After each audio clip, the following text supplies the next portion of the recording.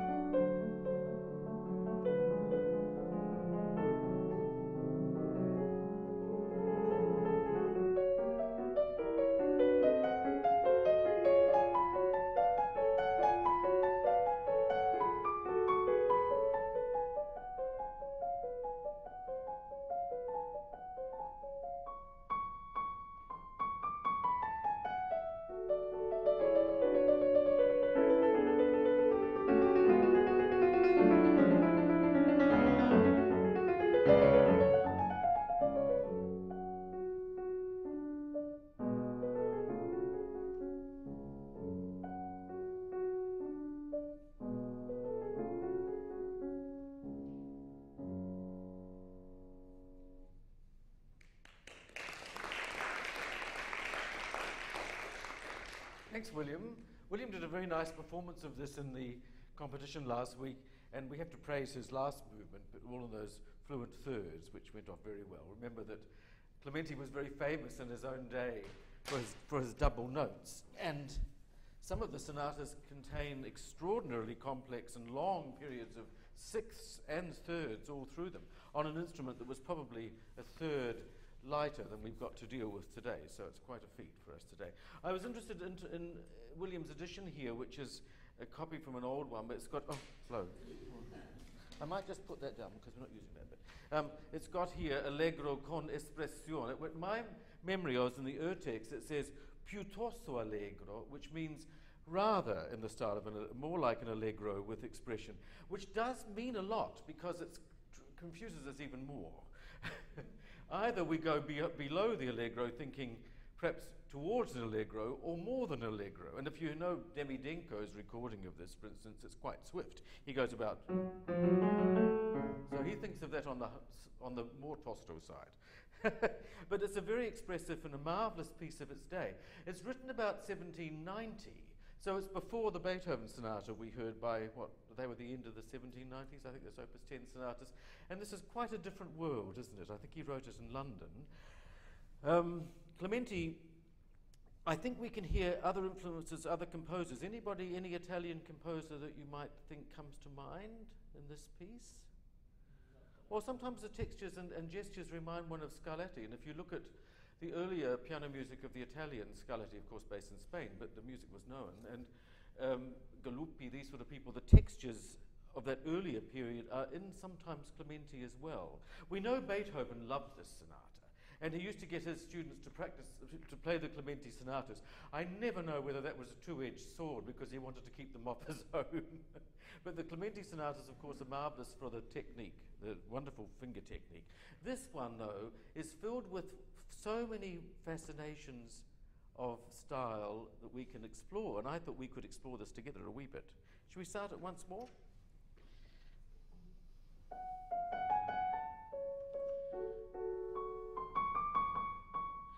Are you doing it faster than you did before? You don't have to. do, do, do your way.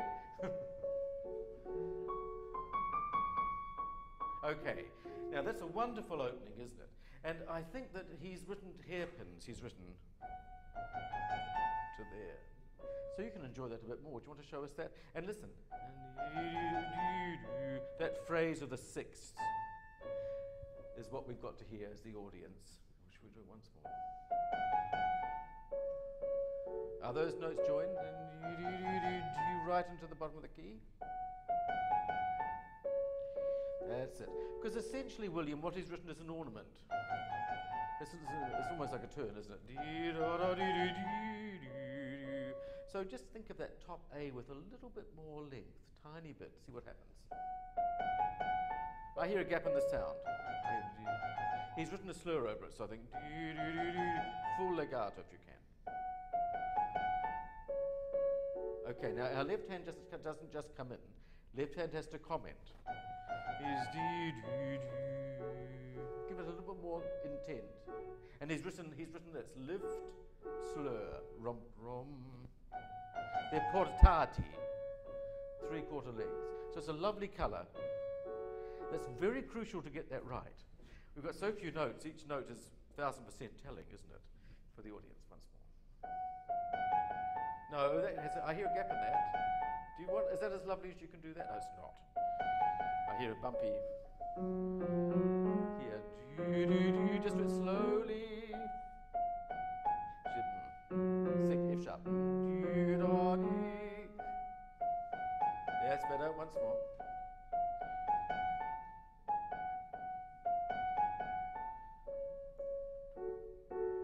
Yes, go on.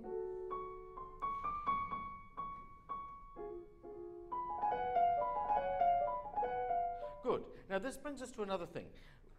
Remember when you end the phrase and go into the phrase succeeding, we've got to think exactly of the sound that we're at, where, where we're, the level that we've come to. And the piano is difficult because we have the decay factor. So the, the touch that you then present, and uh, Clementi's written tenuto at the end of the phrase, he writes tenuto on that line, then Tenuto on those, so he wants a line over those, really expressive. But when you begin, just be aware of the level that we've left. So it doesn't sound like something happening there and something happening there. You, know. you may want that. That may be an effect that you would choose for some time. But I think here, just listen hard. Should we try that once more at the beginning? Nice. So that was lovely.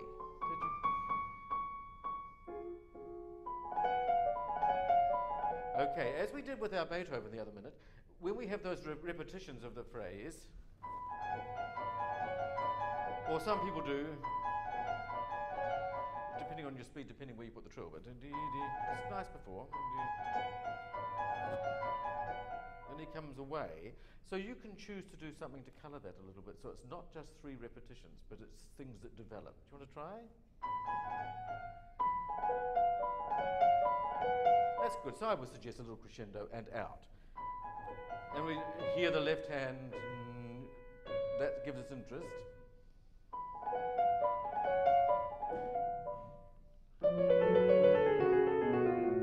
Now that's where it's interesting, because he suddenly writes forte. So he's given us that elegiac opening, that very expressive opening, but then suddenly, and he turns it away. You can make it more dramatic, more free, more free. Should we go? That's like thinking, isn't it? It's wistful. It's thinking, what's the thought? Should we try? Then suddenly, very nice. The only thing I would do is keep the left hand a bit more present. The harmonies.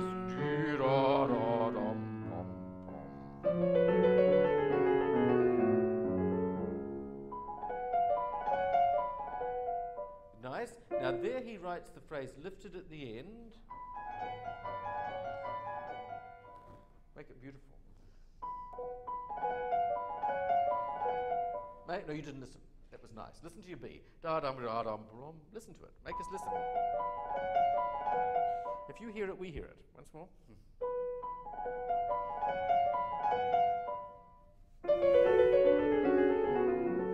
And that can be that's forte right to the end. He doesn't stop it like the other one with, with decrescendo. So we need to place the cadence, and you can shape. But make sure this is still strong. Um, where are we?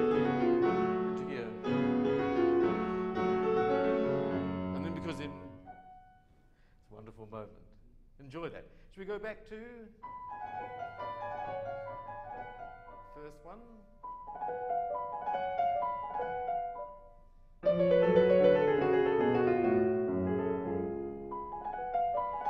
Now bigger. Bass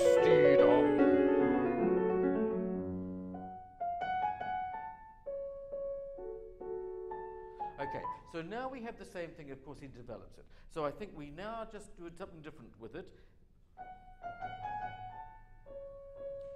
And then he, just a little, you can put a bit more pedal on the chord press. Now you colour it.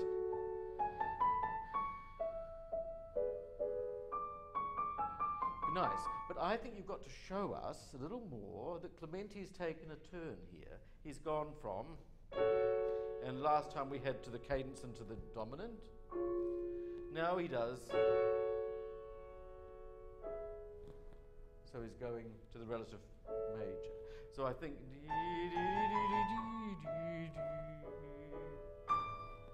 So we have to hear that. Good. Crescendo.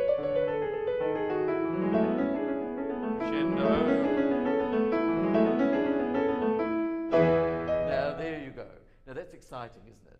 And you can really grow with that. Have fun with that wonderful left hand. You can show us how brilliant your fingers work there. Right hand.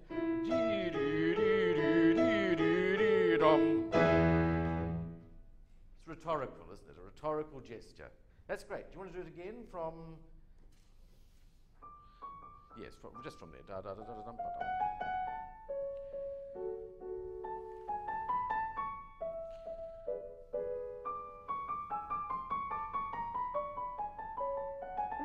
Crescendo left hand.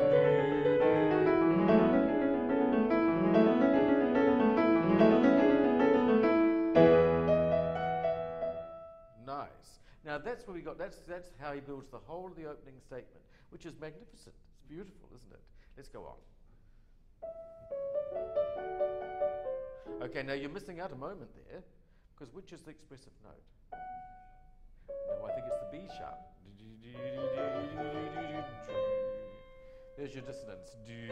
Let's resolve. Make more of that. And also, it's the long note. You've got to have the tone that will sustain. Not many notes to play, so therefore they've got to really sing out. Okay. It's a sigh, a little sigh. Enjoy it.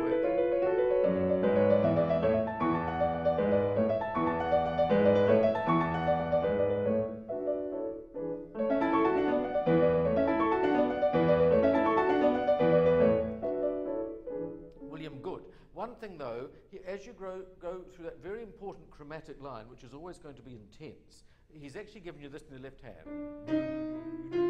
Little sforzandi. So he wants that. Little energy moments. Da, dum.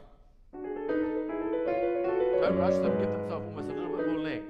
So, uh, sorry. Where is it? Don't rush over them. Do, da. That's it.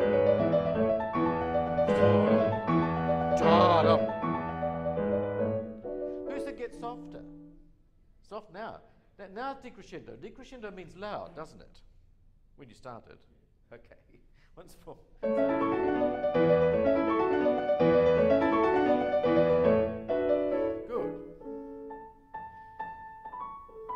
Hold on, we haven't got that bit yet. I want to, haven't finished that, but I'm going to have a few more things to say. Dum, dee, dee, dee. Now, here, suddenly two hands do it. So I'd make it even more brilliant. And then you've got staccato sforzandi left hand. Really make us show what Clementi's doing. Each bar is interesting in this piece. It's a masterpiece in its own way, this sonata. Can we go back to um.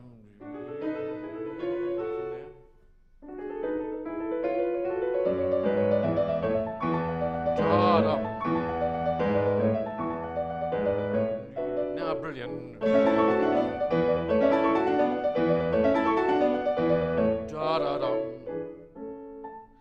Now that's nice. So that's the end of that brilliant thing.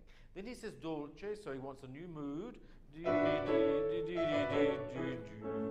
Time. So you let it speak, but you've got to let the sound clear in the hall. Don't just rush to that. We need time. Imagine big hall, big space. That forte needs to dissipate, doesn't it? And then we need to hear a little bit of pedal helps there. And we need to hear the imitation. Should we just go from the cadence?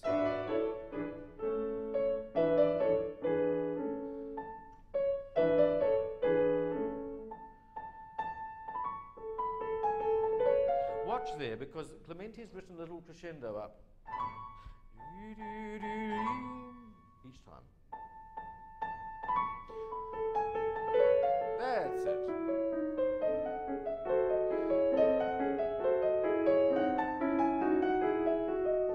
Have our old friendly Sforzandi coming back. So they need space. Watch.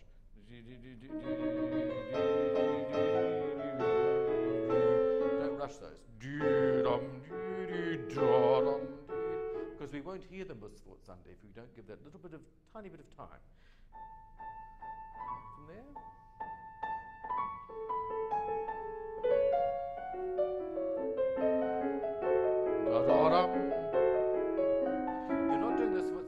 Right, though, are you?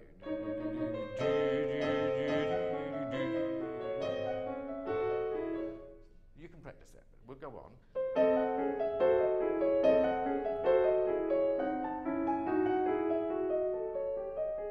Good. I think it's nice, but I think you've got too soft too soon because Clementi repeats that three times, and I think diminuendo starts. So I'd keep the tension up here when you start it. Then you can get softer. Otherwise, it doesn't mean enough. Should we go back to?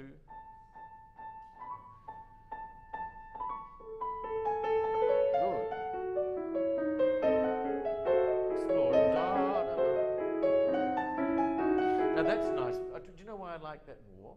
because you've got a tie at the top of the phrase. And now with that sforzando and the tension of the harmony, I can hear what the ties, what the music's doing. It's very chromatically intense, so he wants us to hear all that.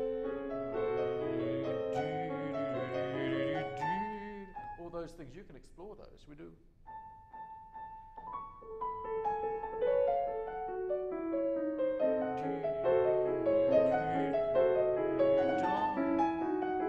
Keep it bigger.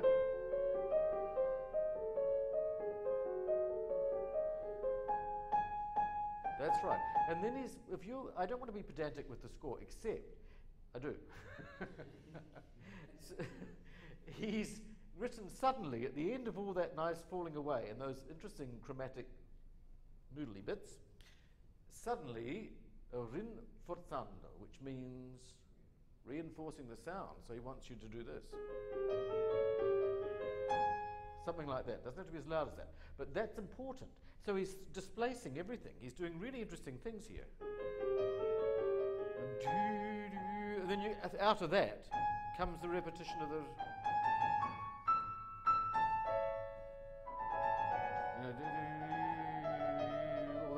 Down. So, so you, you need to make us hear that because then you can fall away from it. It's really important. Can we pick that up somewhere?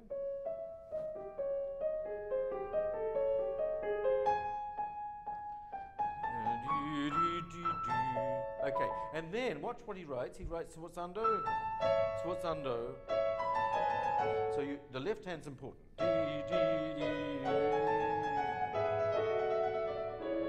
we need to hear all that tension there, especially because it's relatively high on the piano and it can sound a bit thin on a modern.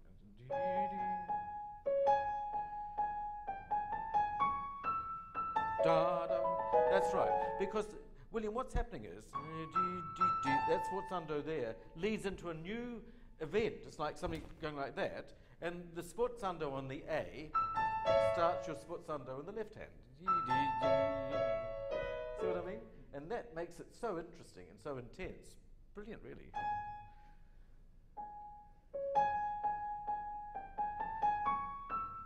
Crescendo.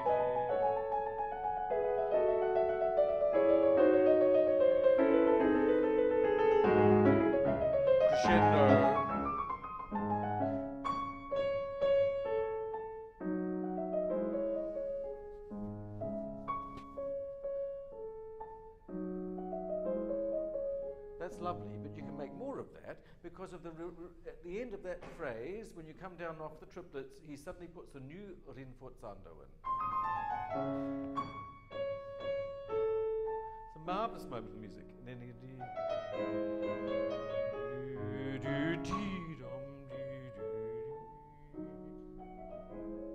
So you can find a new expression there. Suddenly it goes back into the wonderful elegiac like the opening. Um, but dee dee dee do. Listen.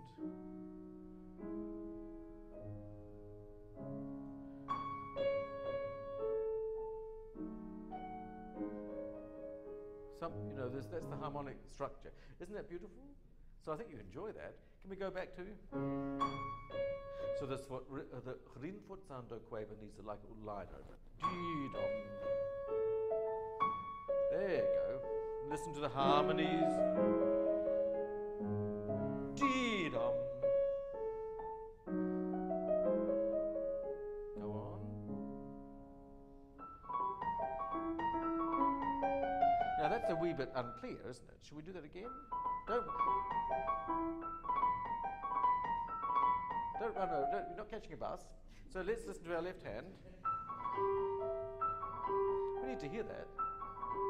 Nice things here.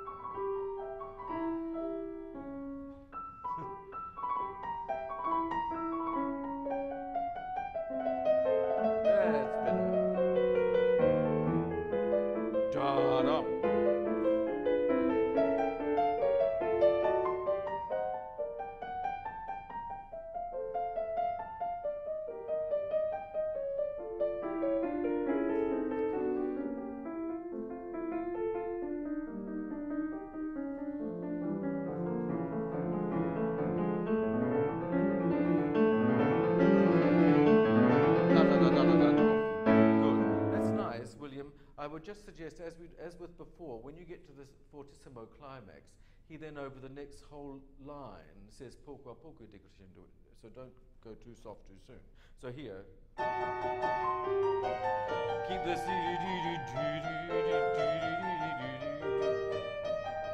because you see he's written these little rinforzandi again. So keep it up.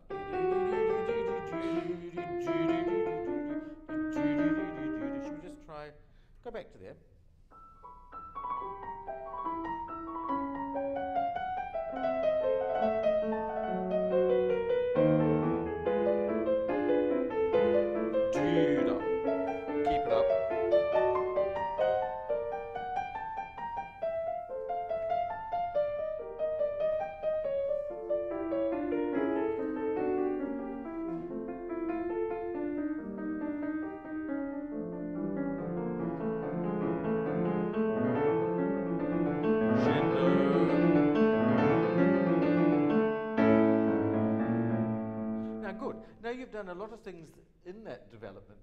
Feel that it's given yourself more space and more colour?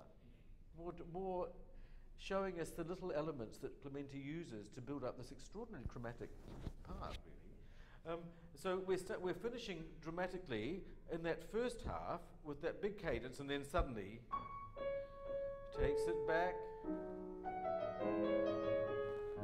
to that sort of sound. So you start off in that mood. The lovely left hand is beautiful. So that's still having that same feel that we're ending the section, so it sounds cogent within itself. And then off he goes, building that dramatic. That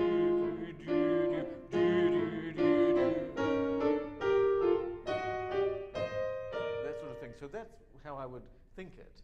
Keeping the crescendo up right to the end and holding it there. I think we can have a little bit more of the rests. Because your left hand punctuates that. Da da da da da da da. Mm. That sort of thing helps. It's all structural. And same here. Listen to that. Go down.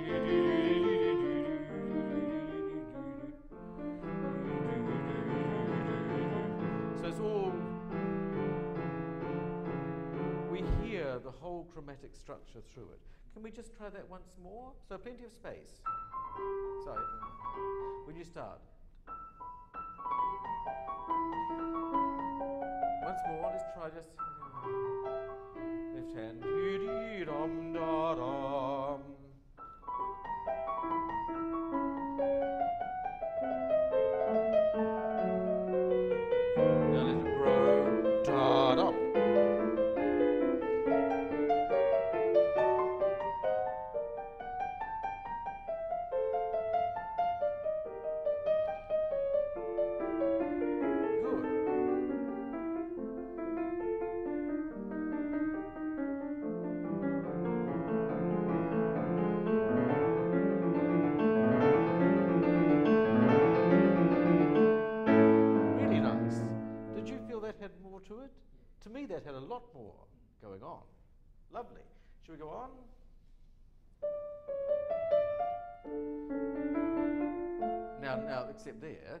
There's two people talking to each other.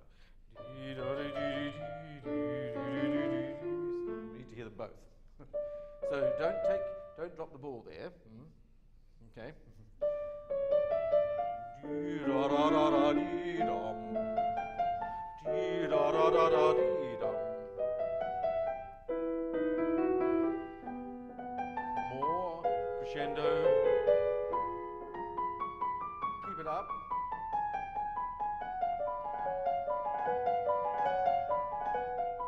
Okay, there he goes to forte, by the way.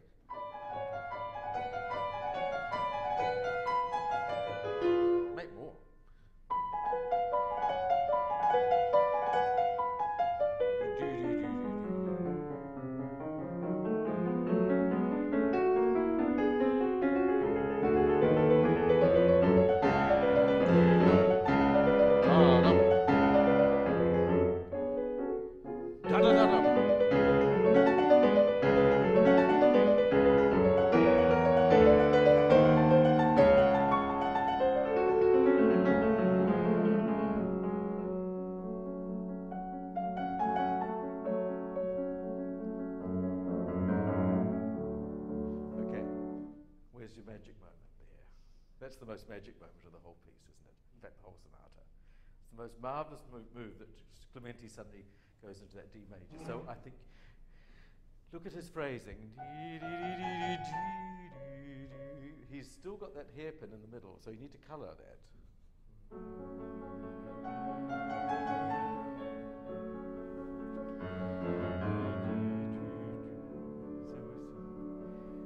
Make us listen to that it's the most beautiful thing ever written.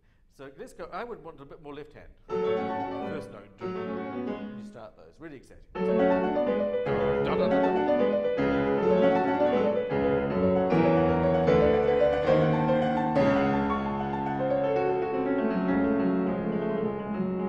Good. Now, and, and as we're going into the coda, you can place this trill.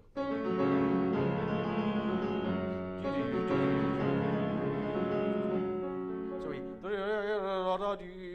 and then out of that comes this darg. Because he's never put an accompaniment with that before, it's always been a line, hasn't it? But now we have. So enjoy that. Give me some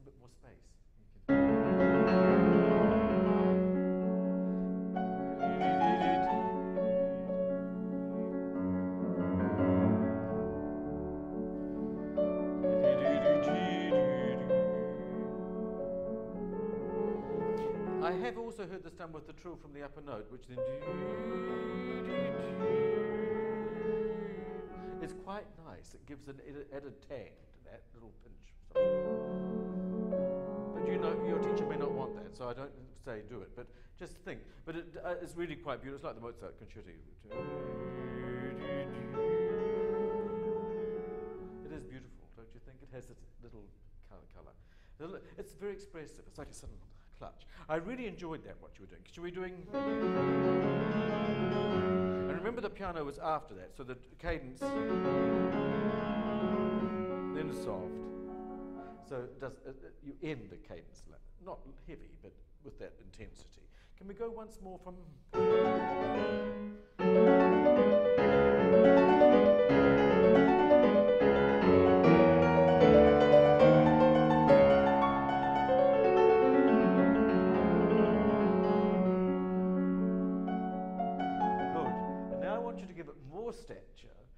a little bit more length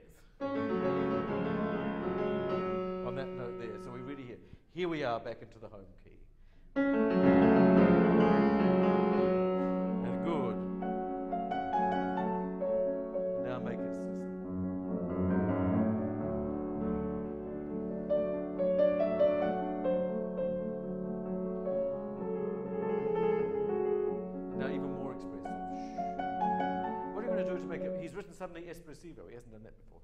What do you think we could do there? Yeah, well, well, mm. oh, one could, but we could do other things.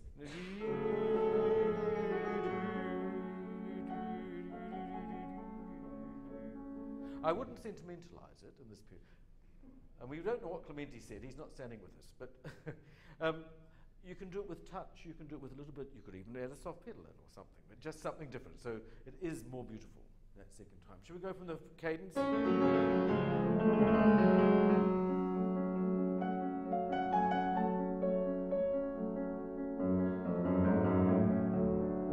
Is that as lovely as you can play that?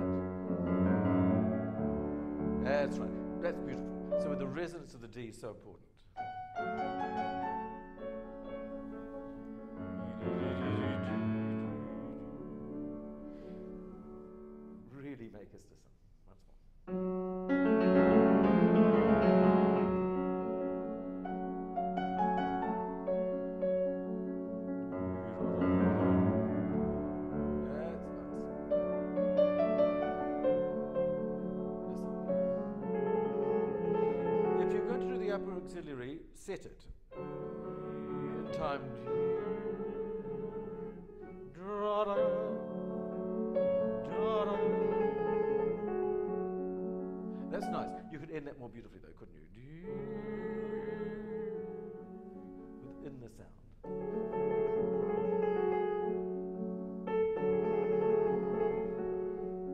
So you've got to make sure there's not enough. You're not heavily weighting it. We don't want to. You didn't stomp on it, but it's beautiful if you can do that. Do it again.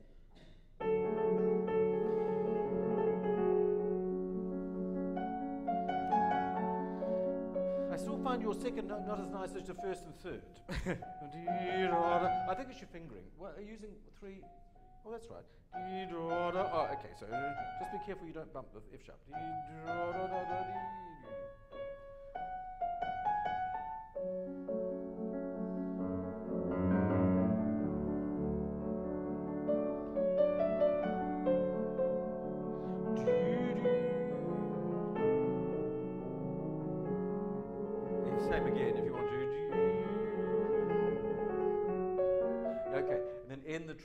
Beautifully. Then take time to start it again. Don't rush. Yeah, it's so chromatic in this piece. We need to hear all this, so don't play it fast over. So do.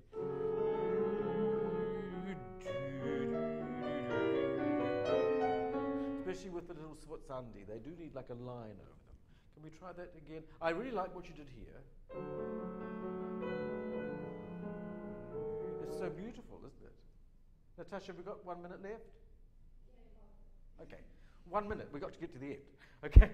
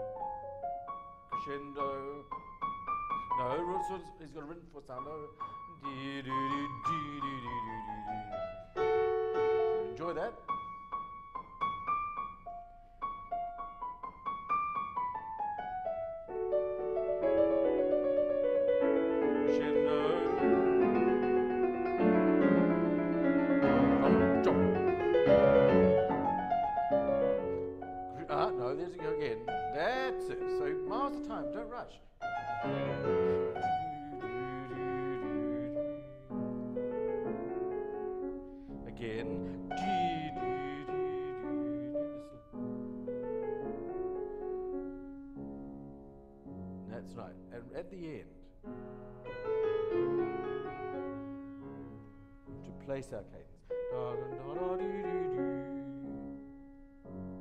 Good. Really nice. And I think we can say goodbye by just playing the opening phrase again. It's too nice to miss out on.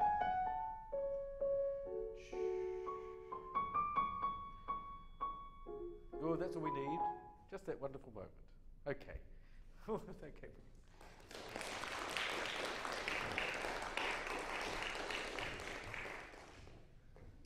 It's a wonderful piece, isn't it, that?